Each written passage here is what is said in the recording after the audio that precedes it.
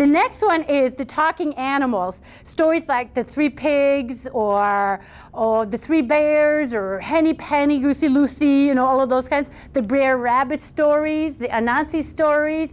My very favorite one, which all of you ought to know, but I don't know if I've told it to you. If I have, I haven't told it for so many years. I'm going to do it anyway, is the story of the three Billy Goats Gruff.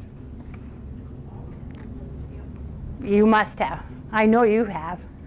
But it's very short, so I have time.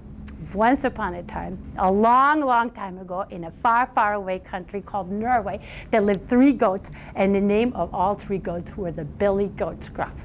Now these goats had a huge problem because in order to go up into the mountains to get grass, which is nice and juicy up there, they had to go across the bridge. And underneath this bridge lived the most hideous troll you had ever laid your eyes on. He was huge, enormous creature with eyes as big as pewter plates and a nose as long as a poker. But there was no way around it. Across the bridge they had to go. So the first one to go across the bridge was the teeniest, tiniest of the three little goats. And when he walked across the bridge, he made a teeny tiny bridge, little noise like this, and he went trip, trap, trip, trap. Who's stepping over my bridge? Roared the troll. Oh, It's only me. I'm the teeniest, tiniest the three little Billy goats, and, and I'm on my way up into the monster. Fat. Well, I'm gonna come and gobble you up now, roared the troll. oh, Please don't eat me up. Why don't you wait a little while until my brother comes? He's really a lot bigger and fatter than I am.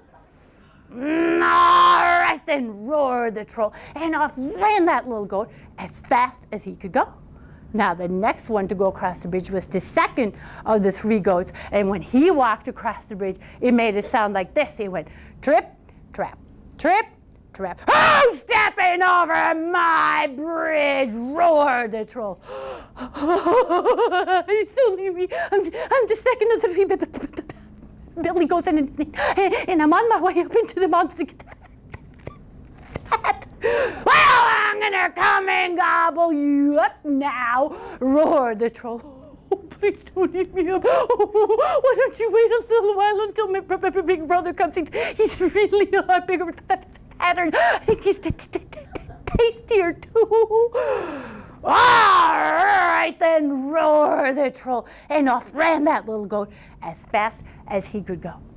Now, the next one to go across the bridge was the biggest of the three goats. He was just huge. His fur was shimmering and shining. He had these two gigantic horns in front of his head, and he was so heavy that when he walked across the bridge, it sounded like thunder. Anyway, trip, trap, trip, trap, trip, Who's oh, over my bridge? roared the troll. It's me. I'm the biggest of the three Billy Goats Gruff, and I'm on my way up into the mountains to get fat. Well, I'm gonna come and gobble you up now, said the troll.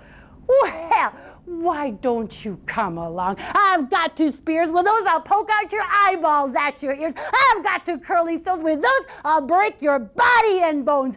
And he went at that troll. He broke every bone in his body, poked his eyes out, and he shoved him way down into the river.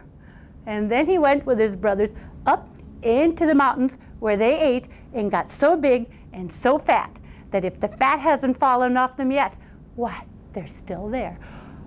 Och snipp, snapp, snute, här är äventyret ute. All right, you're doing good. So what kind of movies or TV shows do you have that are about talking animals do you have today? SpongeBob SquarePants. Okay, what else? Think of all those Disney movies. Bam, Lion King. A Bambi, Lion King. Beauty and the Beast. Yeah, that's more, that's, that's, we'll get to that one. No, not the Cinderella. Those are not just talking animals. Think of, which, Winnie the Pooh?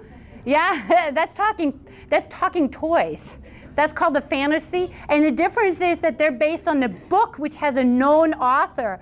So those, those are not out of the oral tradition. Remember, the difference is author versus no author. All folk tales have no known author that we know about. So good, good observation, but they belong in the literary fantasy genre, not in the traditional folk tale. Because Winnie the Pooh is written by A. A. Milne, remember? But so what, what's the one with the dog and the cat that disappeared over the mountains, you know, and got lost and all that stuff? Homeward Bound, that was a good example, right? There's a million Disney movies that are based on exactly that kind of a theme. So that's a very popular one. And